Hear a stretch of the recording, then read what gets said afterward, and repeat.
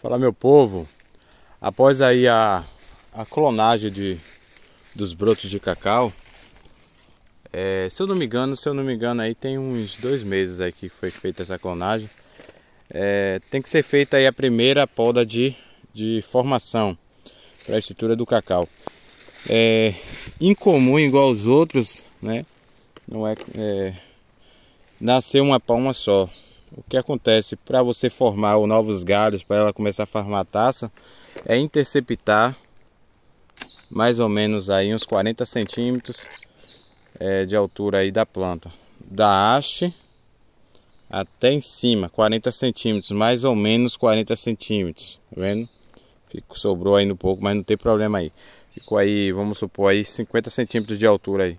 Aqui o que acontece? Interceptando aqui em cima, as plantas vão começar a biforcar, chama biforcação ou axilas. Por que axilas? Porque parece, tá vendo? Ela sai daqui de dentro. Cada palminha.